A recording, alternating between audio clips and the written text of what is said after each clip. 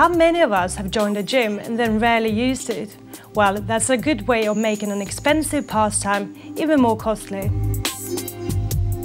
If you are determined to join a gym, then make the most of the competition between different providers.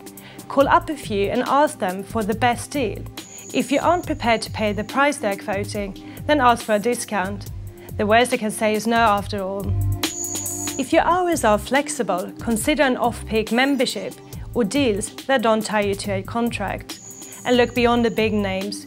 You may well find an independent gym in your local area could offer a better price.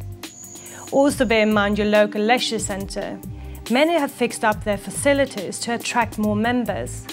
While a gym membership often costs more than £500 a year, most leisure centres charge half that. They often have a pay-as-you-go option as well. Local councils often have free or subsidised gyms as well. They might not be very fancy, but they will do the trick. Also ask your GP if they have any free classes for patients. Exercise on prescription has become more common recently. Participants typically get free or very cheap gym sessions for about three months, followed by a low-priced gym membership. The scheme is normally available to anyone over the age of 16 with a medical condition benefiting from regular exercise. Many companies also tend to offer group or employee discounts at gyms, so it's worth asking if yours does.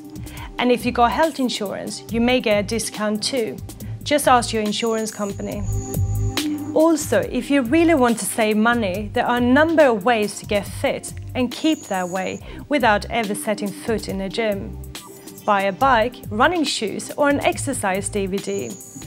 Register with uk.freecycle.org and you can post inquiries for any item you are looking for in your local area, which could get you kit for free. Failing this, doing housework will help keep you fit and will also make sure you remain in the good books with the rest of your household.